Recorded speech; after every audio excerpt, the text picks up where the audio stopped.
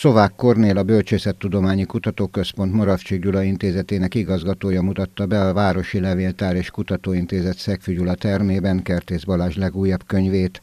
A Székesfehérvári káptalan arhontológiája és oklevéladó tevékenysége az Árpád korban című kötet új adalékokkal szolgál a korabeli egyházi társadalmi viszonyokról. A kötet címe az, hogy a Székesfehérvári káptalan arhontológiája és oklevéladó tevékenysége az Árpád korban ahogy a kötet címe is mutatja, a munka két részből áll. Az első részben a fehérvári káptalan árpádkori tagjaira vonatkozó adatokat próbáltam meg összegyűjteni.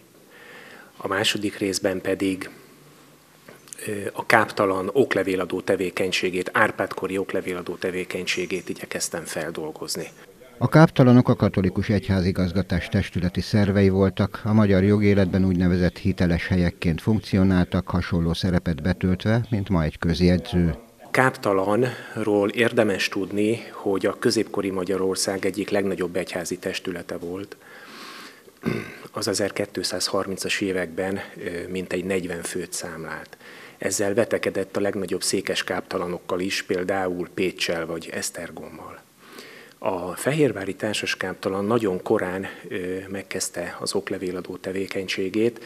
A legkorábbi kiadványunk 1184-ből származik. És innentől kezdve az oklevéladás egy folyamatosan fejlődő tendenciát mutat végig az Árpád-kor folyamán. A könyvemutatón elhangzott, Magyarországon több székes és társas káptalán is működött, utóbbiak közül a legjelentősebbek a székesfehérvári és az óbudai voltak.